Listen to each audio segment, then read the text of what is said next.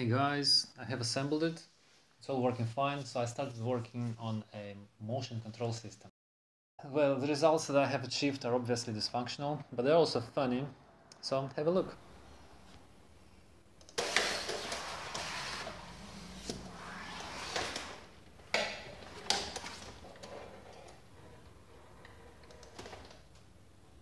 These are my very very first attempt to make it get up and stand and I'm trying to use PID control which I think I already learned is not good enough. These motors are much softer than traditional servos. I cannot just uh, set an angle and expect it to hold the angle. I have to calculate all the dynamics myself. But this is exactly what I intended. It's all good.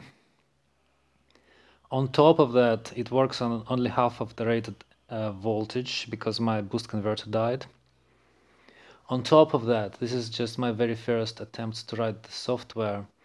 So that's uh, a dizzy robot for you.